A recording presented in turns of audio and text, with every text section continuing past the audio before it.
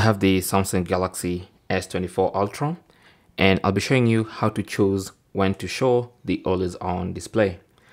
Now I'm using the S24 Ultra for this tutorial but this works on the entire Galaxy S24 lineup. So what you want to do is go to settings. On the main settings page, scroll down to lock screen and AOD, which is always on display. Tap on that and then tap on always on display. Now, first of all, I have to enable always on display and then you want to go to the section where it says when to show. Now, if you tap on that, for me, you notice it only shows when it's set to tap to show.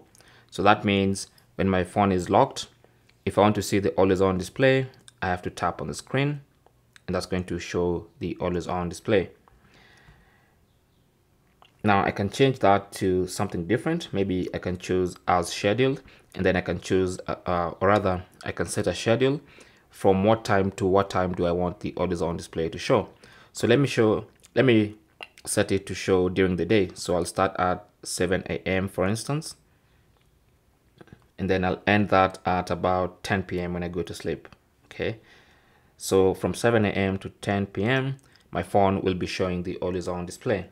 Now currently it's 8.02 a.m. so it's within the time for always on display. So when I lock my screen, the always on display will automatically show.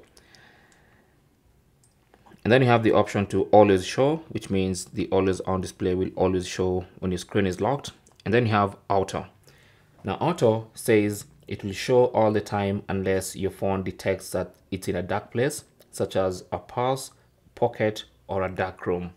So when it's at night and you're sleeping, your phone will not show the always on display. When you put your phone in the pocket, it's going to stop showing the always on display. And this in turn will help you save battery even when you have always on display enabled. So those are the options of when to show the always on display.